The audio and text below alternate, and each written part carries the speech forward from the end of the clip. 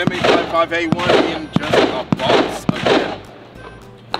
Big, huge frag nasty, no surprises. Deep penetration, again, no surprises.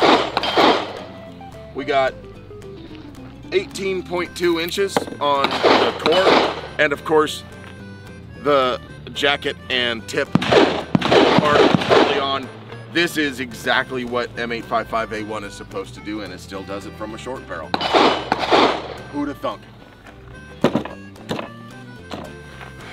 So it turns out, folks, 556 is not a Nerf dart when fired from a seven and a half inch barrel. What about a gummy bear? Oh, well, yeah, totally.